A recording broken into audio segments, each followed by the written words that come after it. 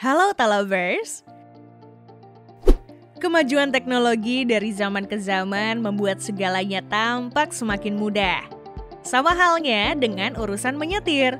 Mimpi soal mobil yang bisa nyetir sendiri beberapa waktu belakangan lambat laun mulai terwujud. Seringkali kita mendengarnya dengan sebutan autonomous atau autopilot dan sejenisnya. Meski hype akan teknologi ini lagi kenceng-kencengnya, ketidaksempurnaan sering kali menjebak para pengguna yang bergantung kepadanya.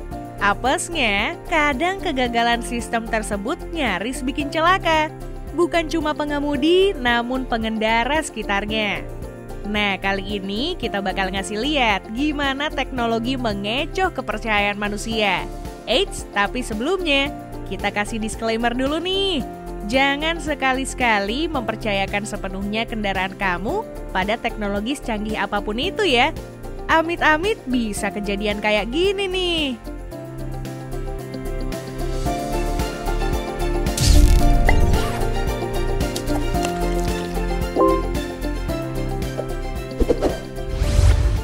Menikmati jalanan pegunungan memang asik banget. Jalanan berkelok dan pemandangan yang indah jadi keasikan tersendiri saat melewatinya. Tapi suatu ketika pengemudi satu ini mengandalkan autonomous driving di mobil miliknya. Walau tampak lancar beberapa waktu pertama, tiba-tiba sistem gak ngebelokin setir pas tikungan.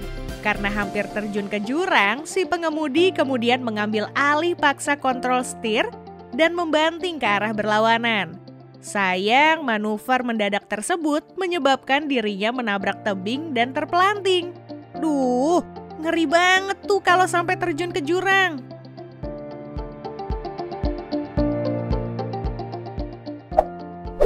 Yang ini sudut pandangnya beda, bukan sebagai pengguna, namun kebetulan berada tepat di belakang mobil yang sistem autonomusnya lagi aktif. Ya memang, jalan highway macam gini paling cocok buat manfaatin fitur nyetir sendiri ini. Karena hambatan yang minim dan kecepatan yang konstan. Eits, tunggu saat tikungan tajam di depan. Kelihatannya sistem gagal membaca arah jalan karena terlalu dekat dengan mobil di depannya. Sehingga sight dari radarnya jadi terhalang. Mesti benerin mobil deh jadinya. Untung nggak kena orang lain.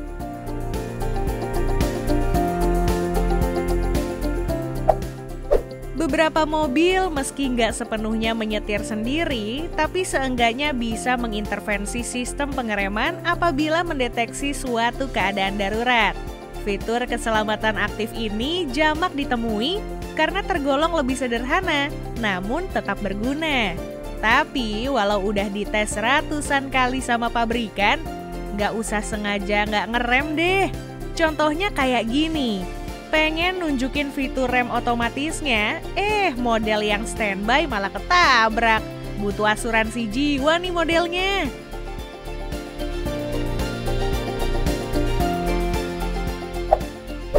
Kejadian yang ini juga mirip-mirip.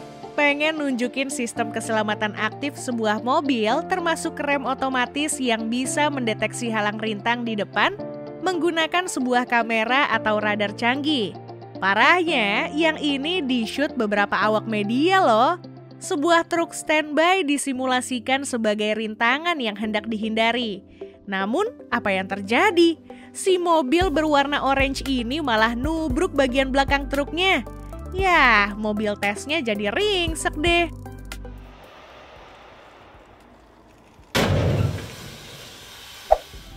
Yang ini jatuhnya lebih ke kocak sih.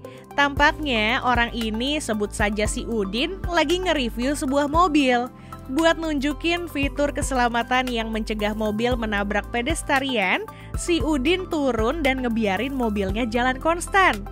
Eh, belum beberapa detik, setirnya udah meleng kiri. Gak cuma sampai di situ, pas si Udin cosplay jadi pejalan kaki dan melintas di depan mobil. Eh, mobilnya nggak berhenti dong.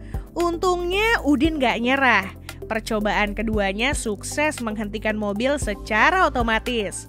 Tapi pas Doi mau ngejelasin ke kamera, mobilnya tiba-tiba nyelonong seolah pengen nyeruduk si Udin. Kayaknya si Udin bagusnya nyewa talent aja deh.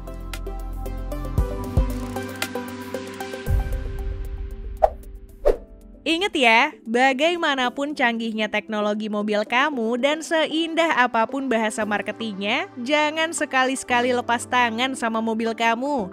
Apalagi sampai nggak duduk di kursi pengemudi dan biarin mobilnya melaju sendiri. Seperti yang dilakukan sama beberapa pemuda ini.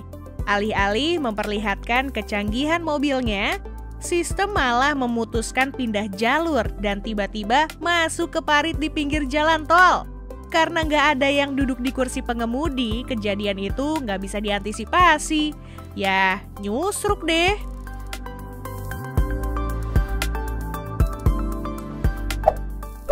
Percaya atau enggak, bisa jadi profesi pembalap bakal punah.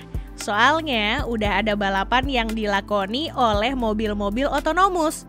Jadi nggak perlu ada pembalapnya lagi di mobil. Namun para pembalap bisa sedikit bernafas lega, soalnya di sirkuit ini kelihatan jelas kalau sistem balapan otonomus belum sepenuhnya terbentuk. Baru pengen start, eh si mobil malah berbelok tajam dan gaspol. Hasilnya, jangankan buat finish, ngelewatin garis start aja enggak gara-gara nabrak tembok pembatas. Mending pakai pembalap deh, kan lebih seru.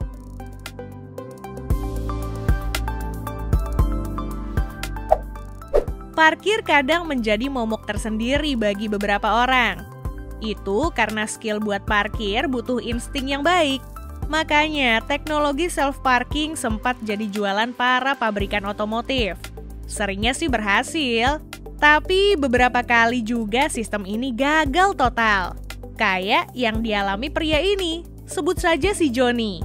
Awalnya Joni membiarkan mobilnya memarkirkan dirinya sendiri dalam kondisi paralel. Namun entah mengapa sistemnya tiba-tiba bilang kalau parkirnya udah beres. Beres apanya kata si Joni? Udah mencong-mencong, nyenggol batas jalan, maksain pula space-nya. Aduh,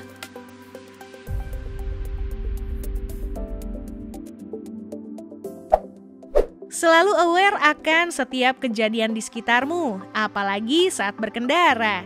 Jangan sampai kejadian kayak gini. Truk yang terguling di tengah jalan ini secara logika udah kelihatan dari jauh. Orang gede gini kok.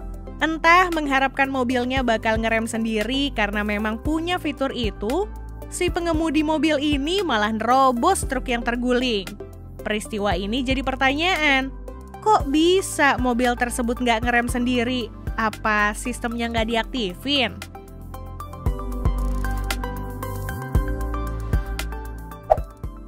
Wah, wah, wah, wah, bener-bener gawat nih. Kayaknya sistem otonomusnya salah ngebaca jalur deh. Sampai-sampai mobil bersama orang-orang di dalamnya pada nyungsep ke parit. Ya, walaupun nggak dalam-dalam banget sih, tapi tetap aja bikin susah. Belum lagi gimana ngebersihin mobilnya, yang pasti keringnya butuh berhari-hari. Kerusakan beberapa part juga pasti terjadi. Wong gas seruknya lumayan parah gini, yah keluar ongkos lagi deh.